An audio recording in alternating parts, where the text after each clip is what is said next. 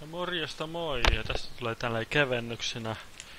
Kävin tässä äsken K-kaupassa ja hinta oli 4 euroa, mitä minä suuresti ihmettelin, että mokasiko myyjä nyt. Minä siis ostin Essiä, kolmen litraa, siis ei Essi energiajuoma vasta olutta.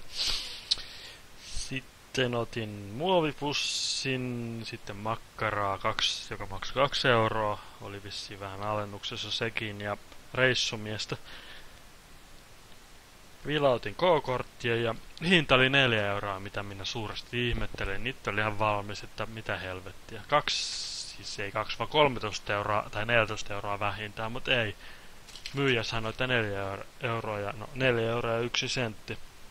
Jos tarkkoja ollaan, niin minä en siihen mitään reagoin, vaan ajatteleva mies, että okei, okay, saadaan ilmatteeksi ruokaa, niin melkein. Niin, miten toi on mahdollista, mä oon kumminkin Siis mä käytän aika ahkerasti mun K-korttia, koska varsinkin kun mä sain sen K-kortin ilmoitteeksi, sekin oli aika kova etuus mulla.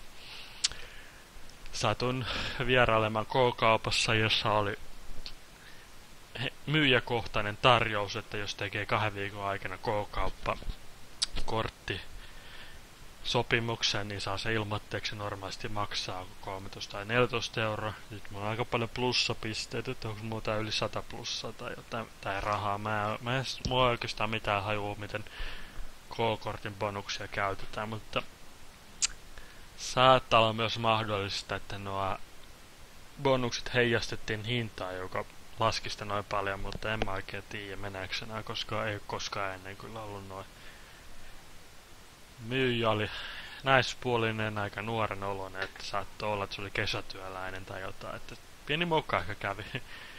En valita, eikä todellakaan mene huomauttamaan tästä asiasta sinne, mutta omasta mielestäni onko Essi maksaa kumminkin 11 euroa 34 senttiä se päkki plus yksi S-siirtotölkkinä, niin kahden euron makkara ja reissumies ja muovipussi, niin ei, ei hinta todellakaan voi olla neljä euroa. Tässä kävi pieni kämmi nyt aika selvästi, että säilytän kuitina näytän sitä jollekin kaverille, niin voidaan nauraskella tätä jatkossa, että koko happa meni mokaamaan aika ryssästi aika pahasti. Hmm. Tässä kuitissa ei luo myyjän nimeä. No, aika harvoin ostokuutessa siellä lukeekaan. Näissä on vain osoitteet, toimipaikka, sähköposti, myyjän puhelinnumero ja niin edelleen. Mutta, joo. No joo, pitää kumminkin säilyttää muistot, että kaikkea voi sattua. En nyt sisällytä sitä mun v... siis ei Facebookia juttua, vaan tätä mun weblogia normaali höpinää.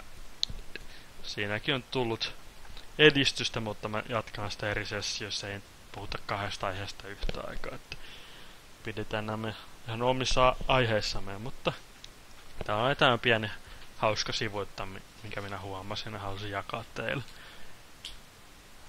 Ihan valitettavasti en tuolla kuittaa, en ehkä viitsis kannata ja näyttää sensoroitunakaan, mutta kaikkea voi sattua. No, ei mulla muuta. Nähdään ensi kerralla. Ja ai niin joo, semmonen pieni juttu vielä pitää aivan yhdistää tähän, että Walking Dead siis. Walking Dead Season 2 Episode 5. Vikajakso julkaistaan huomenna Suomen aikaa Steamissa kello kahdeksalta, että siitä tulee sitten heti pelailua. En tiedä puhunko siinä vai en, mutta pelivideoita siinä teen, mutta kyllä mielenkiinnolla odotan, mutta joo, ei mulla muuta. Morjesta, ensi kertaan.